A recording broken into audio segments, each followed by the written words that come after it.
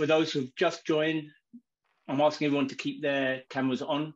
The reason being is that um, this is meant to be a community event. We are part of a larger community, and so therefore we should be able to see our community. We can feel part of that community, and so please scroll through, see everybody that's here today so that you can feel part of something larger because we are something larger than ourselves, even if it is online.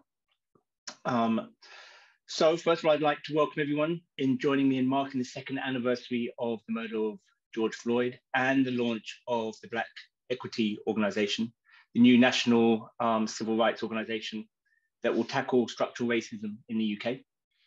Let me briefly explain what we're going to be doing over the next 90 minutes.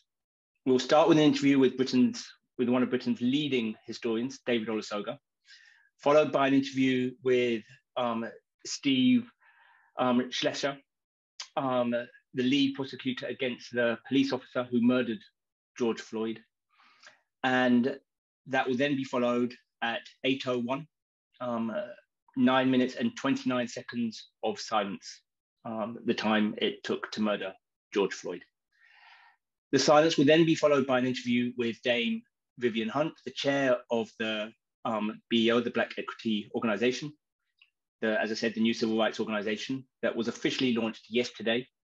And we'll then have reaction with some special guests who are also um, attending the event. And so without further ado, let me introduce a brother who really needs no introduction at all, um, David Olusoga. David Olusoga, but I will introduce you though, David. Um, David Olusoga OBE is a BAFTA winning filmmaker, broadcaster, and historian. I could spend the next 90 minutes listing all your achievements and all the awards, but most importantly, um, he has become the, the, voice of the people, beautifully articulating our pain, the racism we face, and putting it in a historical context that both increases our understanding of the challenges we face, but also how to overcome them. Um, David, welcome. Marcus, thank you. Now, this might sound like a very basic question, but why are you here today? Why do you think that us in Britain should be here talking about the murder of a black man in the US?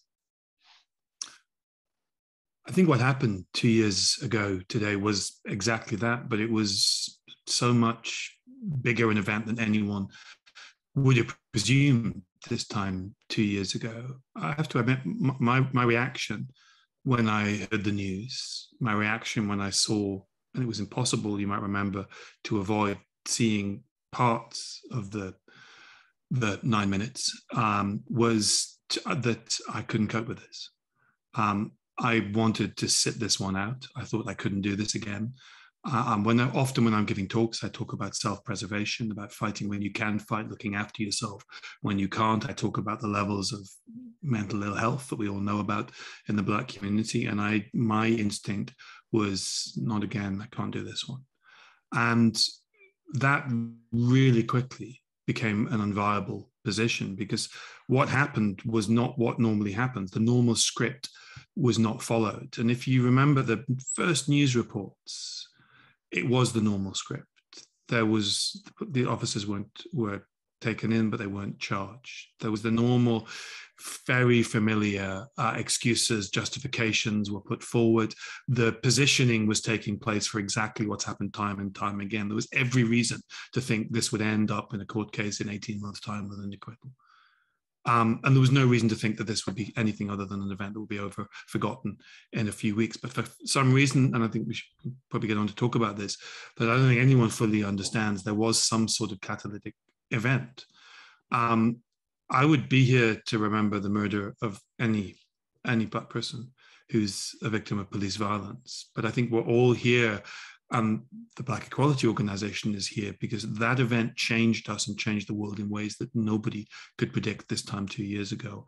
The other thing, the other very familiar script that happened in the days after the murder of George Floyd, which I think anyone who's familiar with the British media um, and interested in issues around race and equality and justice is incredibly versed in, is the ways in which the British media dismisses um, events in America and says that they have nothing to do with Britain, and that's that's very familiar script.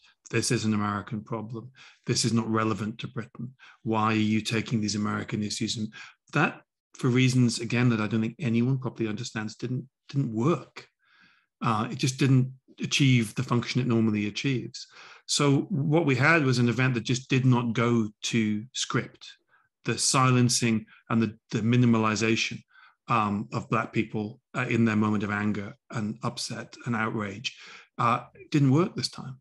Um, so we're here because that event changed the world, uh, as I say, in ways that I wouldn't have dreamed of. I mean, we, you know, two, two years ago, we were waking up tomorrow to those images. I didn't expect any significant change. As I said, what I expected was that the normal script would be followed. And I just thought I couldn't cope watching the normal script be followed. So we're here because the world changed. Okay, so this might be a um, strange question to ask a historian, especially if you're saying that the world has changed and we didn't follow the usual script. Um, what what next? Do you think things are, um, you know, because obviously I saw you give some interviews with regards to the BEO, the Black Equity Organization. What should we be doing next?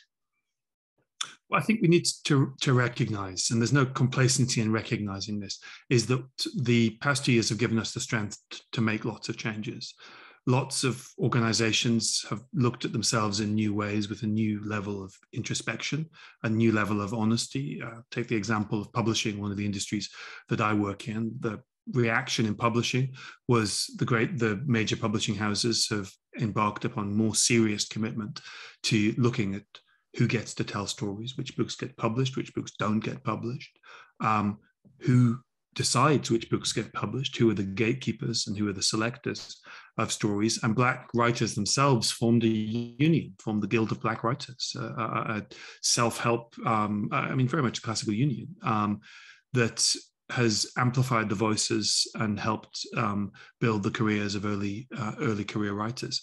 Um, again, that, that was that was not predictable. It was not predicted. It is a fact of the fact that the world has changed. The fact that the BEO, the BEO came out of that sense of we need to do something that is going to be different this time. And I think building organizations, trying to take that sense of anger and outrage and pain that we felt two years ago and actually to, to solidify it into something real, into changes, into organizations, into practices, into commitments, uh, into commitments that are personal to ourselves, to not stand for certain things.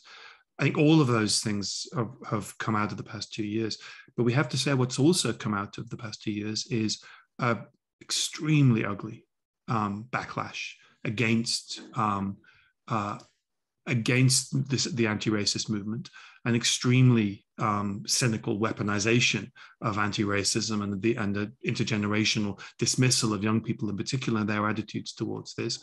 Um, and I, I, often think that if I when I go and go and talk to a company that's taking DNI and equity seriously, um, I come away feeling positive. But then I'm silly enough to turn on the news uh, or open a newspaper and I see the culture war posturing, I'm brought back down. And it's almost as if being in Britain at the moment is like being in a party where there's two stereos playing in two different rooms, and one's playing the greatest hits of the culture wars, and the other's playing a more hopeful tune. Uh, and I think both both are real, uh, and both are emanating and you know, reverberating across the nation. Um, but both things are happening. So what next is to is to make real make tangible and solidify our sense of outrage and anger. And I'm you know, very pleased to be part of an organization that is one of those moments of solidification. No, I, I couldn't agree with you more with regards to organization. You know, so um, uh, we set up the Sir Lenny Henry Center um, for Media Diversity just before George Floyd, but the idea of organization building, obviously the BEO, um, the Black Writers Guild, I went to one of their meetings uh, I think it was the weekend just gone you, you can see the importance of organization. Um, you've talked about there being a generational shift about that. Um, uh, you've talked to me previously about how younger generations or how we're almost viewing the struggle against racism on a on a different level on a you know can you possibly explain explain that uh, yeah absolutely i mean uh, there's I would argue that what we're going through is not a political event; it's a generational change. The caveat with that is is viewing groups of people through generations is an imprecise science. And what eleven days after ten African Americans were murdered by a teenager in a supermarket in Buffalo, um, the dangers of viewing people as being their identities and their behaviors shaped by that by their generation it must be more obvious than ever. So it, there's a there's a limit to how much you can view people um, as discrete groups of generations but at the same time there is absolutely clear attitudinal differences uh, in this country and other countries when it comes to these issues and these priorities um, when it comes to generations. If you look at the attitudinal surveys both before and after the murder of george floyd attitudes uh, opposition to racism, anti-racism stance is on the verge of becoming ubiquitous the younger the younger you, you go down um, the age the age pyramid. I, in some ways, I think the um, one of the best places to see this is to contrast um, two institutions. One is our 650 MPs, and the other is our 26 members of the England football team. Um, the England football team is England in its 20s. The average age of an MP is 52. The average age of a football player in the England team is 26. And you look at the the the attitudes, the priorities, the commitment to anti-racism in that remarkable team. Thirteen of them dual national, not all, not all of them. Uh, uh, um, uh, you know, some of them Irish, dual nationalities in all sorts of different ways. A, a backstory that absolutely reflects the imperial story. You contrast their voice to what you hear from Parliament, and I think you, what you see is that generational difference. There's, you know, one group is half the age of the other, uh, and look at their positions on these issues. So I think there's absolutely clear cut um, generational difference on this. And I see it, I see it in people I, I teach up in Manchester. Um, their priorities are absolutely uh, distinct and uh, committed to anti-racism. But also, I think you know, as, as, an historian, you have to often step back and think, what is the, what is the, what is unique about this moment? And I think it's very easy to miss what's unique about the past two years for the first time ever, there have been thousands of marches involving millions of people against racism, and the vast majority of people on those marches have been white people. That's never happened before. There was huge white support for um, the civil rights movement in America in the 60s. There was some white support for the, the struggles and the abuses of the black community in Britain in the 1980s. But you look at the photographs, look at the film, it's mainly black people fighting for black equality. Then look at the photographs in the films of the summer of 2020. It's it's young white people. So as much as it can be a trap to think of people purely as having an identity that equates to their generation, this is unique, and that's you know that's something we really need to reflect upon. I, I was a, a, a, witness at the Colston trial. It's four young white uh, um, kids. I call them kids. It's slightly patronizing. Four young, young white people, um, and they saw it as their duty to remove a statue of a slave trader. Now I write articles about how horrible he was in the Guardian, uh, but I didn't put a rope around his neck and pull him to earth. They felt, and it's fascinating talking to them. They felt it was their moral duty. Uh, and there, there was a, a, very sophisticated understanding that they were in a better position to do that than young black people you know, a certain understanding of the, that even though they were putting themselves in peril, they were putting themselves in less peril than young black people. Um, the fact that that statue that stood for 125 years was pulled pulled down by young white people, uh, again, there's a significance here. Okay, that gives me a, a, beautiful segue to go to the next person I'm going to be speaking to. But just before I do, I think it's really important, especially, and I hope you'd appreciate this as, as a historian, of us as Black people recording our own stories and recording our own history.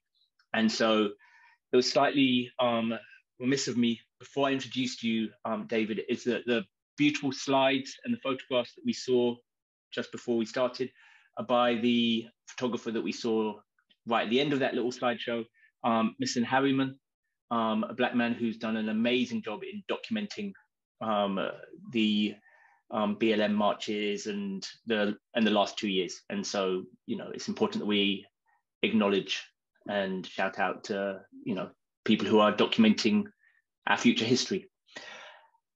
The um, your point with regards to um, uh, the role that different people from all different races can play in the anti-racism struggle gives me a beautiful segue, to, and thank you very much for that, David, to introduce um, Steve um, Schleicher. Um, and so at this point, I'd like to bring Steve in if it's um, possible, um, JK, to, to bring him full screen, I hope. Um, Steve is the lead or lawyer who delivered the prosecution's closing argument in the case that led to former police officer Derek Chauvin being convicted of um, George Floyd's murder. And I'm hoping I can see him now. Steve, welcome. First of all, um, so thank you so much for joining us. You're um, in Minnesota right now, is that correct? That's correct. And I'm absolutely honored to be asked to, to speak with you all today and, and share this uh, part of your organization's uh, origin story. So thank you very much for having me here. So first, my understanding is Derek Chauvin was sentenced to 22 and a half years in prison last year, a punishment that exceeds the state's minimum guidelines, but falls short of what you were requesting of a 30 year sentence. Can you tell us what the latest developments are? What is happening to the other police officers, for example, where you can. I know that there are um, some legal issues that means you might not be able to reveal too much, but I'd just be curious if you could bring us up to speed as to what's happening now. Sure, um, absolutely. And, and, in, and in fact, when I'm done speaking here, I'm on a brief pause today. Um, we're proceeding with the prosecution of the other officers, and I'm in the middle of my trial preparations now. Uh, but when I learned of your organization, I thought this was uh, important enough to, to pause uh, my activities for an hour and speak with you all. It, the the sentence that uh, Derek Chauvin received it was less than we asked for, more than the minimum um, under the guidelines. And just to highlight that, the, the, standard sentence for this would have been 12 and a half years uh, for a, a, second degree murder under these circumstances. But this was more. Um, there was an additional 10 years that the judge imposed a little short of what we asked for, but I think significant for two reasons. First, uh, the death of George Floyd was not quick. It was slow, it was agonizing, and it was painful. As painful as it was uh, for all of us to watch, uh, you can't imagine what that must have been like to experience. I saw that part of your program, we are going to be reflecting on the amount of time that he was held to the ground, uh, pressed down upon by these men. Uh, and I think that the sentence reflected that in part. And of course, there's no number of years that can atone for the taking of a human life, that can atone for the pain and misery that was inflicted on Mr. Floyd, on Mr. Floyd's family, and indeed the world. Um, but the other part of the sentence, I feel that uh, was more than what uh, is normal in these circumstances is to reflect Derek Chauvin's position as a sworn police officer in my state, um, a public servant, and a public service is a public trust. And Derek Chauvin broke that trust and broke all of our hearts uh, in broad daylight in front of uh, a number of citizens who sat there in horror watching what was happening unfold right in front of them. And think of that because of the badge and the power of the badge and what he was empowered to do. Any other circumstance, you could imagine a group of uh, citizens seeing someone, one of their own, being attacked, would be able to jump up and uh, intervene and, and, pull the attackers off and, and render some kind of aid. But because of that badge, and, and what it means and what it represents. They were utterly powerless to do that, utterly powerless to do anything. And so, uh, part of the additional sentence that Derek Chauvin received was for betraying his badge and betraying that public trust and subjecting these citizens, these horrified onlookers, to something that they will live with for the rest of their lives, as indeed all of us will. Um, um sorry, go ahead. No, um, I, um, as far as the other officers, you know, they uh, they were tried in, in in the United States. We have uh, we we have our state court system, which I was participating in. In this time, we also have a federal system, which is a national sort of overlay. And all of the officers were prosecuted by our federal courts as well for deprivation of George Floyd's civil rights.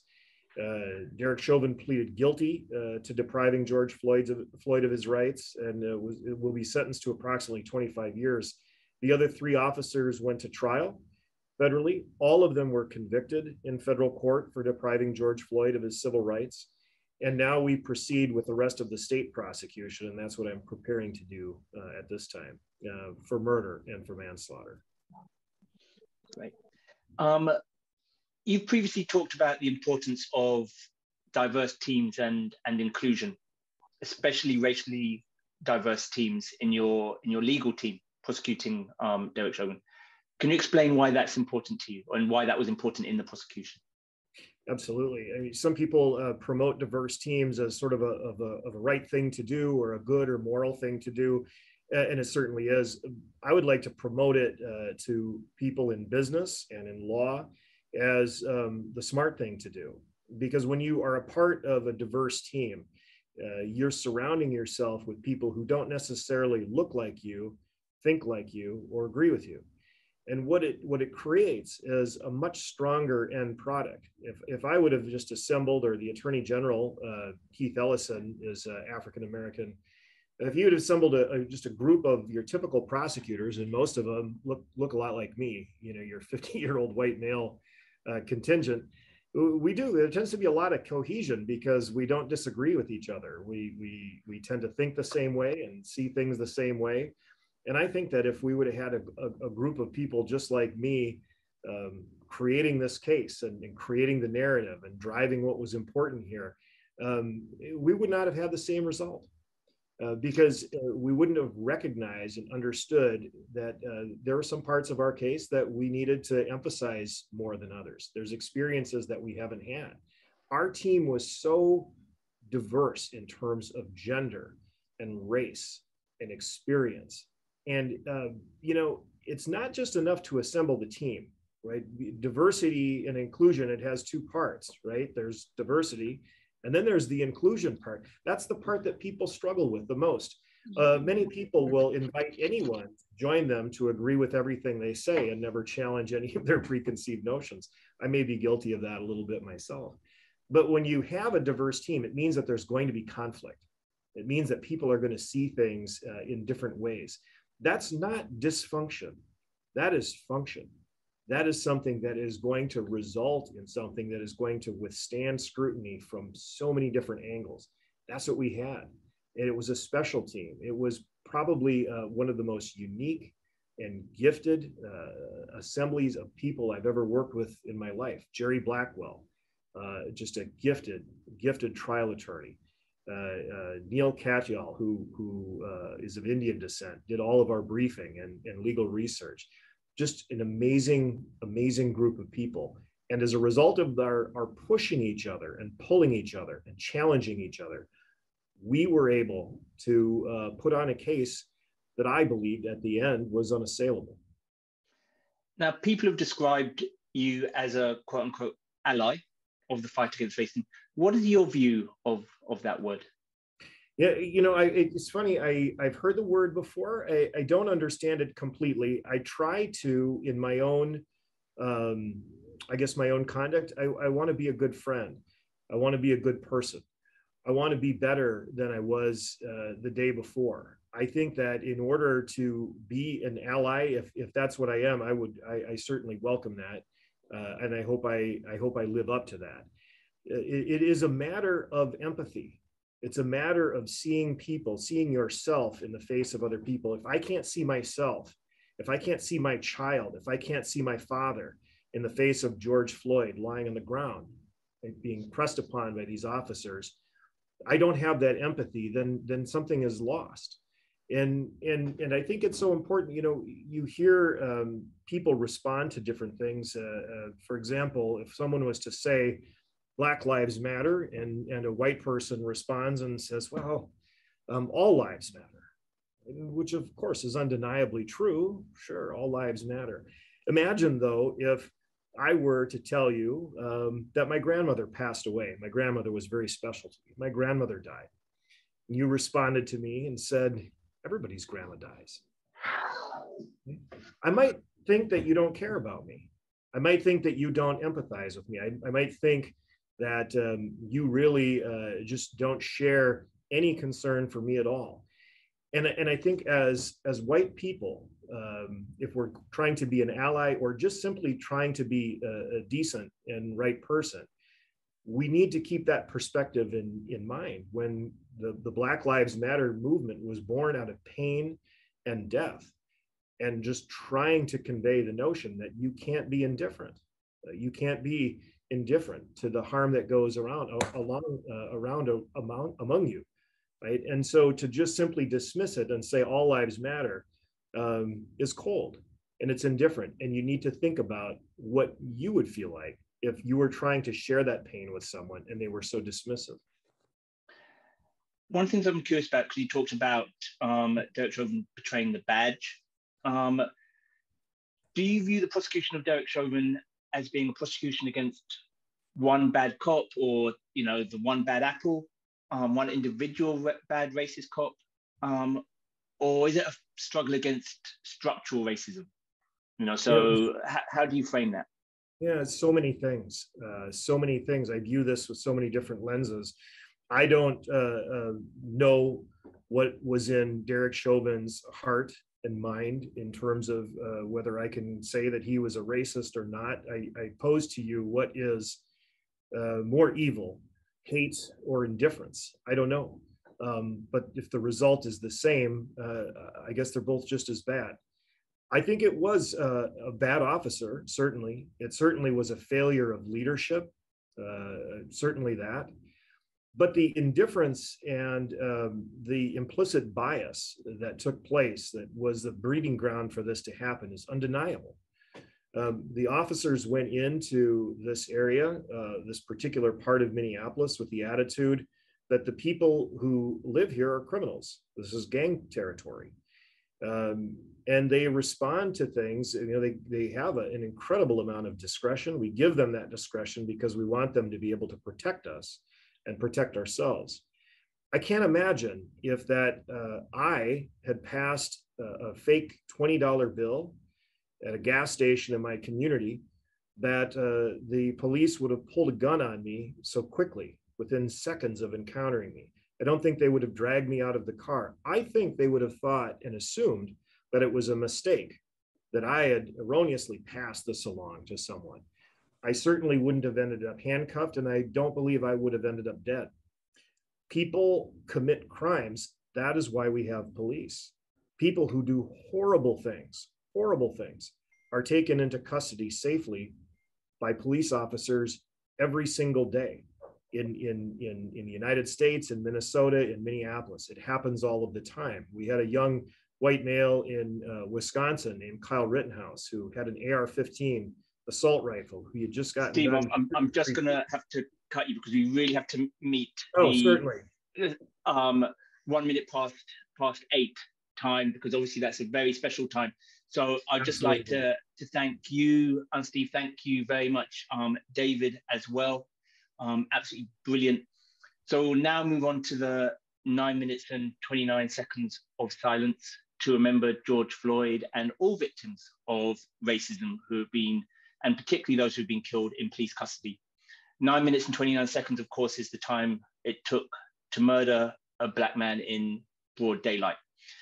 Um, we're coming together as a community, even if it is online. So to feel part of the community, where possible, I ask people to leave their cameras and their microphones on. There is a quality in in the sound of silence, so that would be great. Um, where I am, it's just started raining, so you might even be able to hear tiny pitter patter rain on it. So if we could um, do that, um, we are a few seconds away from one minute past past eight. I will will go for nine minutes twenty nine seconds, and then after that, I'll bring everybody back. But hopefully, we'll just have everybody on screen. Feel free to go through the screen, feel part of that um, community.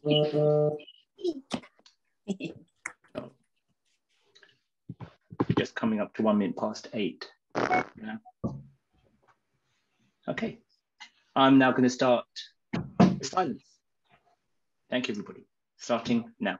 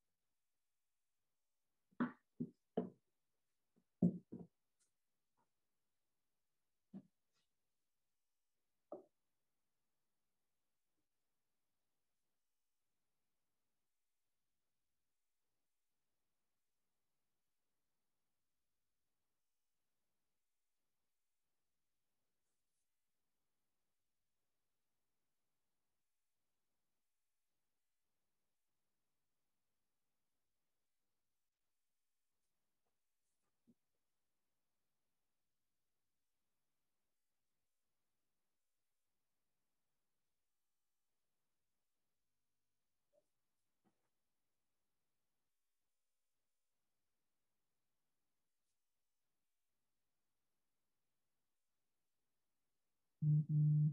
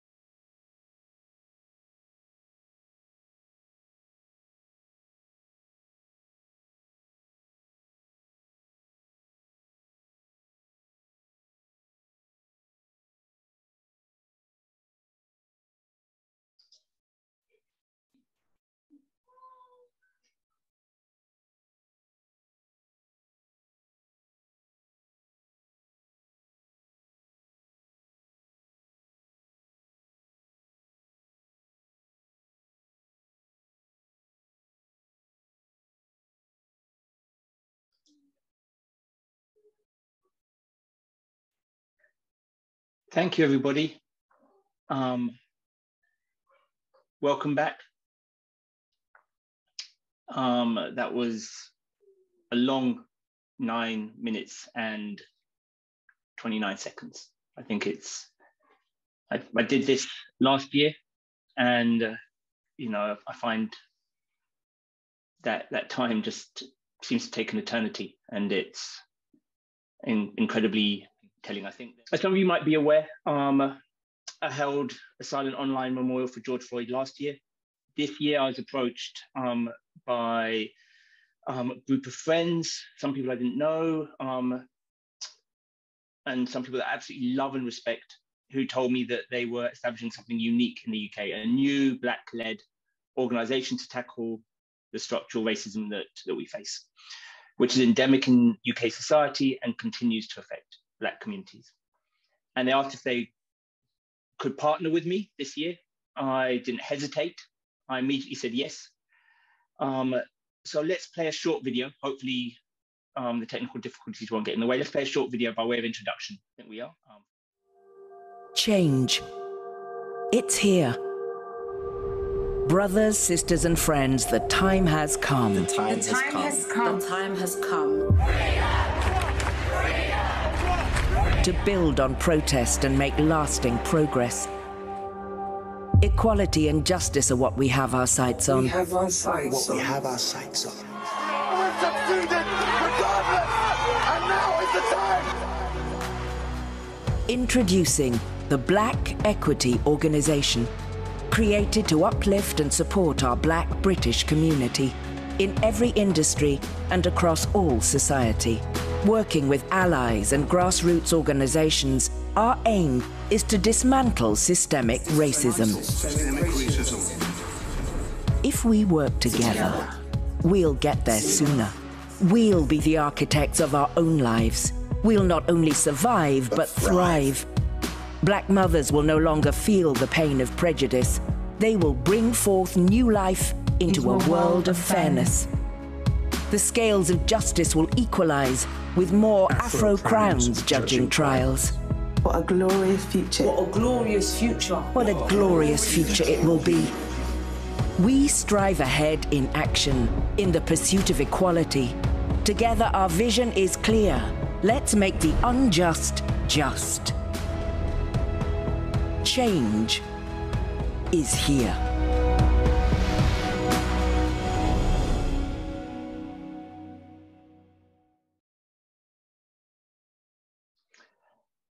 Hello and welcome back again. Um, before I introduce um, Vivian, who I think everyone can see, I'd like people to just to take the opportunity of, um, and while I introduce um, Dame Vivian um, Hunt, just to scroll through.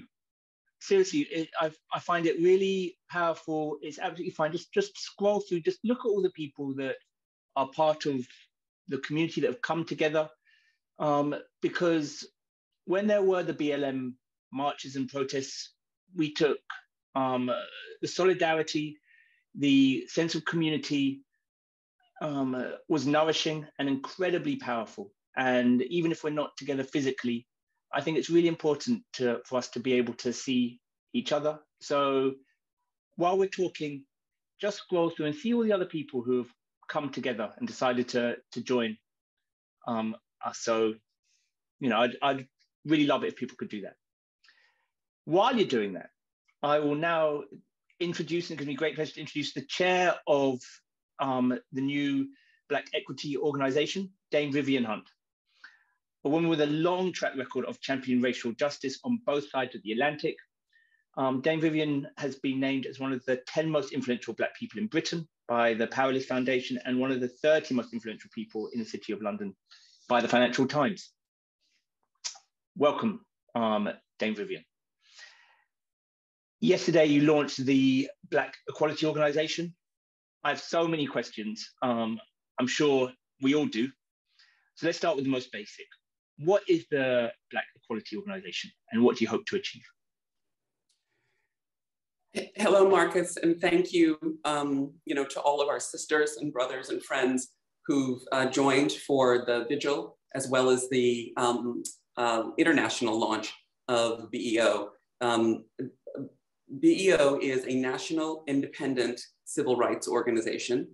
Our focus is on dismantling systemic racism particularly as it disproportionately affects Black Britons. But as you, Steve, and David mentioned right at the outset, you know, if there are systemic barriers and racism for anyone, you know, we want access to justice and equality for everyone, but we have to start where the evidence and our lived experience tells us there are gaps in delivering um, a world that has um, a less racism particularly built into our institutions. And, you know, as Steve said so powerfully, those people and institutions who are supposed to serve the public and those who uh, depend on both public as well as private services. So in that sense, the mission and the call for change is very clear. It is simply an organization to be a national independent voice for Black Britons to help dismantle systemic racism, and um, work with any organization, uh, grassroots organizations, partner organizations, uh, local, national, and international who want to help us on that cause. So, who is involved in the um, Black Equity Organization, and how can all of us, myself included, how can we get involved? Well, our founding story is a simple one, and it grew out of the same reaction and pain that you described um, after George Floyd's murder. In the days after that, David Lammy um, uh, convened a call with friends and uh, just really expressing the frustration and patience that all of us felt at a human level, the sadness, the shock, um, the despair that not only were there a huge um, tragedy happening in that individual case, but it was just another sad but familiar um, anecdote.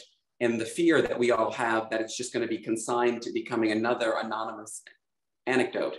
But in that anonymity, combined with the simultaneous videoing, predominantly of young people, you know, held back by the legitimacy of the institution of policing, but still with their cameras on, that it was able to be known to almost every person in Britain, Japan, Germany, South Africa, Nigeria, Brazil, um, St. Paul, Cleveland, simultaneously around the world, and to have people who were not in the Black community, who didn't fear that it was their brother or son in the immediate sense, just see the injustice.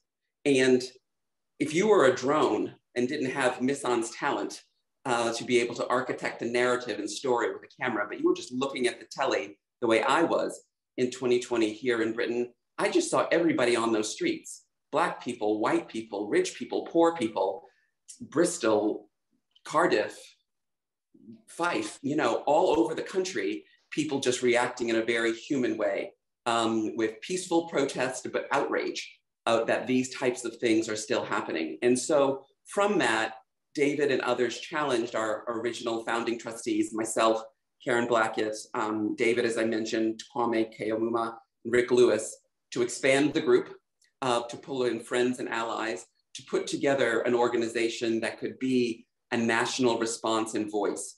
I was frustrated that the voices and profiles, well meaning though they were, um, in the national media were not um, all evidence based. They didn't really understand deeply the lived experience that Black British people were having. They minimized what young people were trying to do. And we just said, we know the quality and excellence that is in the Black community, and we can just do better than this. And so we started with a small group of Black British philanthropists, put together a little money to be able to think about what does excellent look like. We did a little research around the fact base that frankly proves, if you needed evidence, that um, Black Britons still suffer the disruptions of systemic racism um, severely. Um, others do as well, but our community does at a, a breadth and depth that is limiting to our progress. 95% of Black British students believe that racism is a barrier in their education. When you look at the cases of Child Q and Olivia, uh, recently profiled on this week, you can see the fear that you might have having your child even go to school. And so my uh, reaction is just to say we wanted to do the work to really look at what do excellent civil rights organizations look like, what are their characteristics, and try and build an organization that was inclusive of grassroots organization, stood for Black Britain equity across all different parts of our community, but also was open to working with all of those allies who were out there on the streets in 2020, all of those corporations who put their hand up and said, I want to do more, all of those who foundations who want to activate grassroots organizations and give them a channel through which they could begin to get that work done in a systemic way. And that's why our manifesto says, you know, turning from building on protest and ensuring that we make progress so that in 20 years we are not sitting Zoom talking about another case of you know underskilled, overwhelmed, undertrained police, you know, uh, committing a, uh, a, a violation of their own commitment and killing another member of the Black or any other community. So, what can I do? I mean, it's, it's it sounds um, the organization that sounds amazing.